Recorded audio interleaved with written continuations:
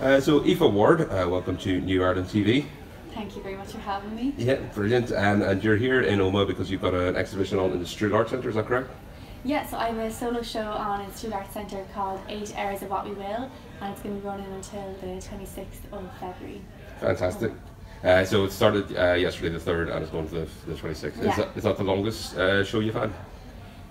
Um, kind of. My degree show I think ran a bit longer. I can't even remember it, but this is nice and long. This is good for me. Fantastic. and, and this is your first one as an independent artist, then, is that? so this is my second solo show, but my first in Ireland, in the country of Ireland. Yeah. Fantastic. And where, where else had you been then before that? And so I did a residency in 2019 in Aruba in the Caribbean islands. I did a two month residency and there's a show at the very end of that. So that was quite a quick, like two month show. Whereas this has been a whole year preparing for it. So it does kind of feel like it's my first really official solo show.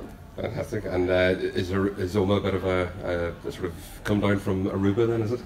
No, not at all. The weather here is fantastic.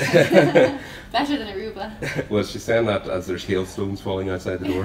but how, how have you found Omagh so far? It's been great. I haven't really had a chance to proper walk around because I've been so busy. But like, it's a nice Irish town. You know, I can't complain. Nice cake, nice bacon, bread, eggs. Fantastic, yeah. Fantastic.